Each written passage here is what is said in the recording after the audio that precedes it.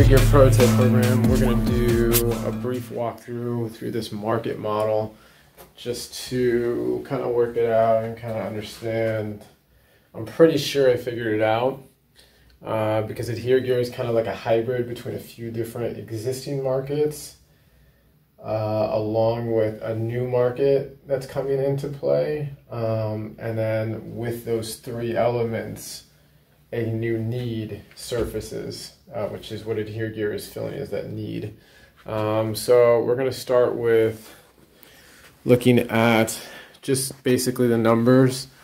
So we narrowed it down to transportation is one of the key categories, and then luggage and security. Those are kind of like the three categories. We determined security though, need, can just go ahead and stay blank because at the end of the day, security doesn't really make money or it does, but the way it's run right now, it's, it's, it's fueled with, you know, $8 billion from Uncle Sam. So it makes money, but at the same time, it's coming from a source that doesn't really um, allow you to use the numbers I guess you could say correctly or in a way that supports this model. It supports the model, but it's not worth looking at the numbers, in my opinion, right now.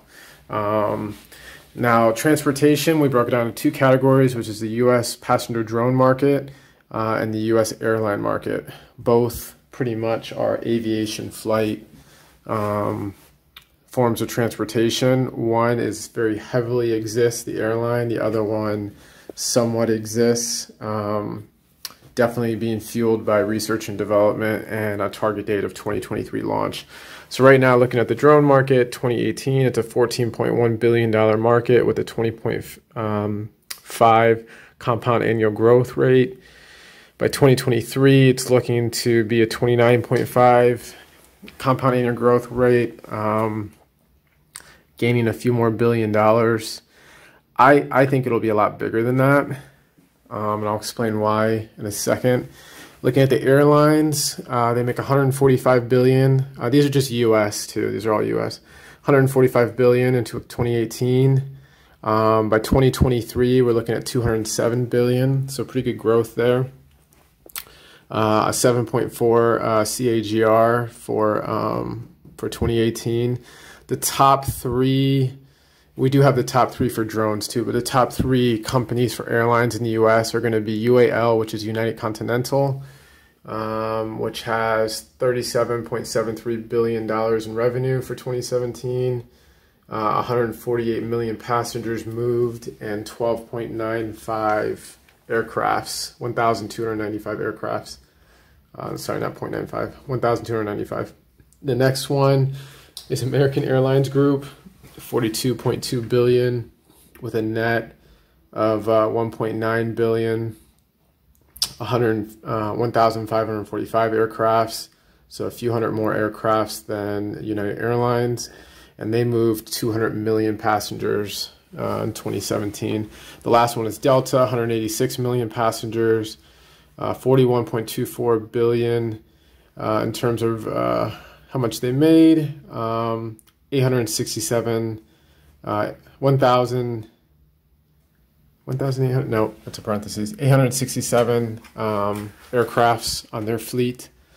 Uh, so that kind of gives you an idea of the two markets. Um, you know, these guys, airlines is very similar to medical. You got to put a lot of money in to get a lot of money out.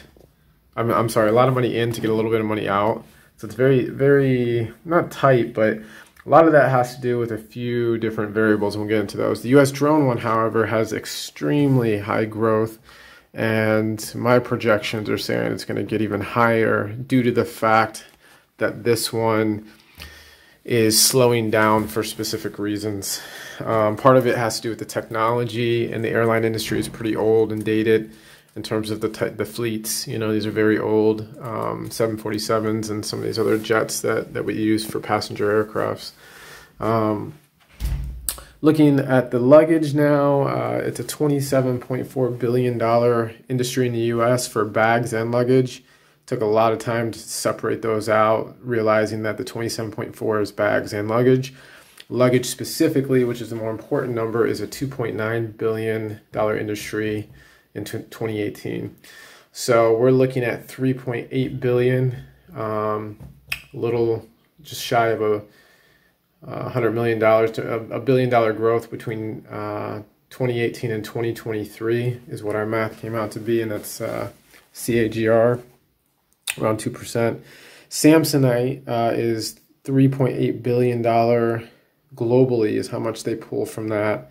Uh, 1.4 billion in the U.S. So out of the 2.9 billion in 2018, Samsonite made just shy of half that money just in their side.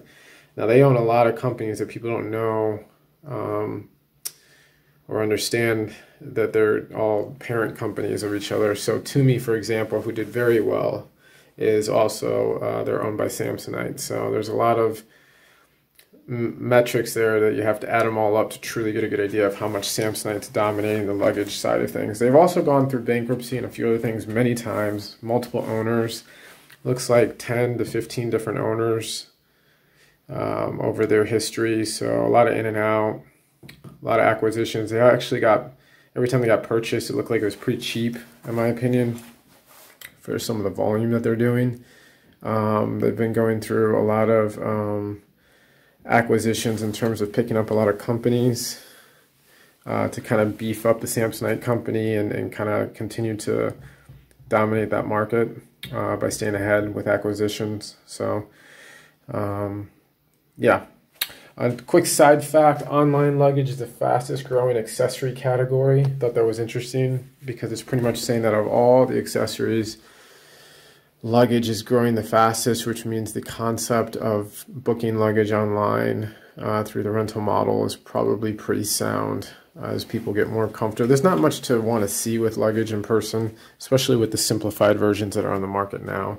You know, they just have wheels, a lock, you know, colors, some striations, you know, to make it look cool and, and to provide structure for the uh, uh, the plastic cases and stuff. So not much to look at, and that's probably why online is growing pretty good because with some 3D rotational models, you could probably accomplish convincing someone of which one to get quite easily uh, between aluminum and plastic. So, all right, now getting into some of these diagrams.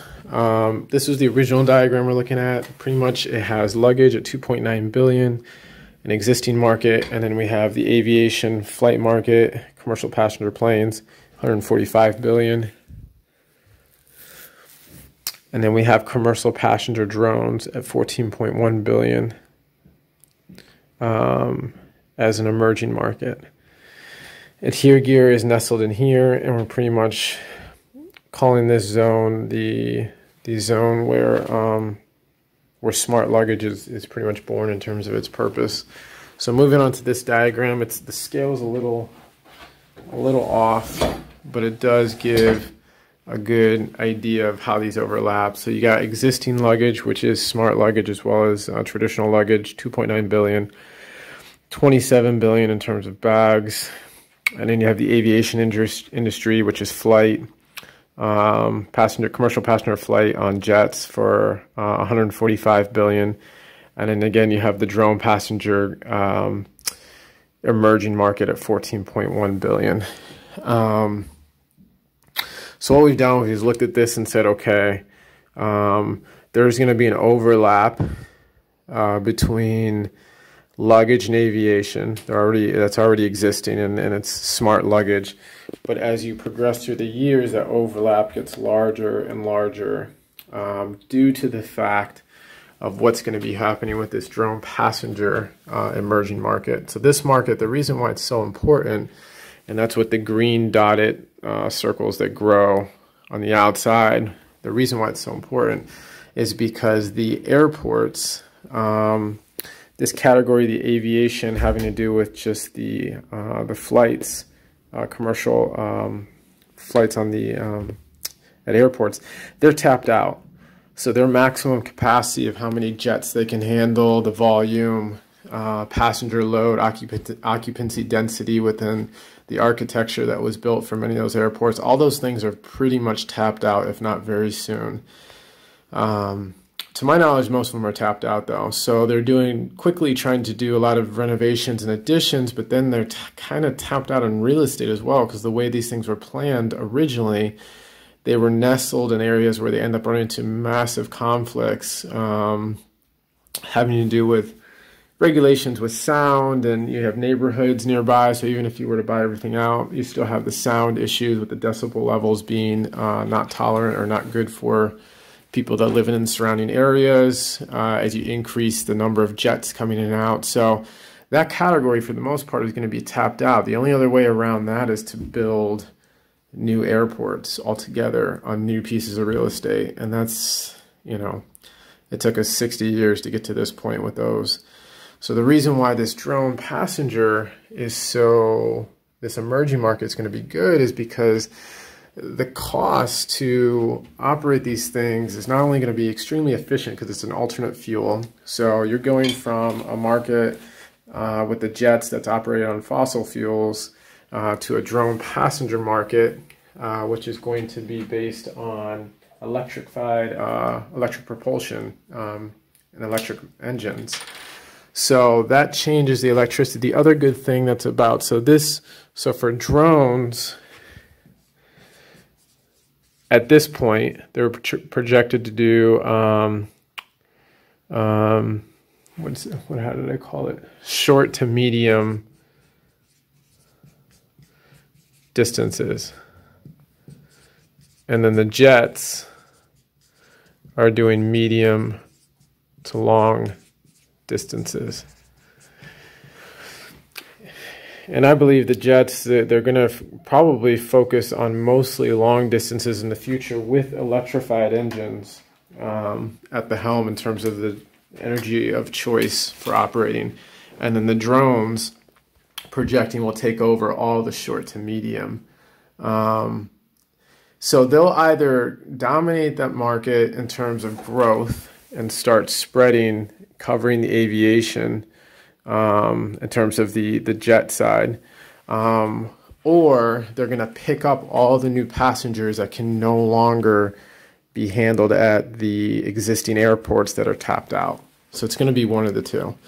Um, and because of that, there is going to be in this drone passenger market, especially for those medium distances, you're going to end up with a new security that's going to be needed to cover those passengers uh, with these carry-ons. And those carry-ons, as this grows, it starts to overlap more and more with luggage, which means because these are so technologically advanced, you know, these drones are, are literally technology from 2020, whereas the jets are technology from 1970, 80s, and 90s. So very, very dated types of infrastructures compared to what these are going to be operating on. So the luggage was designed and has crafted over time to match this industry. But with this emerging industry, you're going to have this new secondary emerging industry that's going to happen, which is going to be the smart luggage.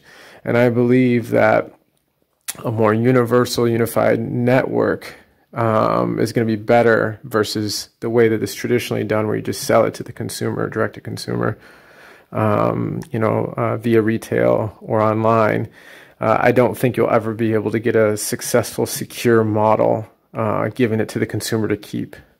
So I think it has to be a rental model, which means this segment grows uh, side by side with this segment, maintains this one, grows side by side with this one, especially for the medium um, medium and potentially long distance travels that these drone passenger flights are going to do.